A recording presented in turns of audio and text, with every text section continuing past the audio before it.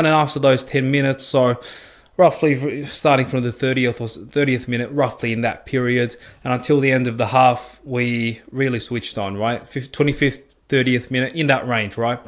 Um, we uh, not switched on, but obviously we were switched on, but we started to break them down. And we scored our equaliser through Fabio Gomes in the 20, uh, 26th minute.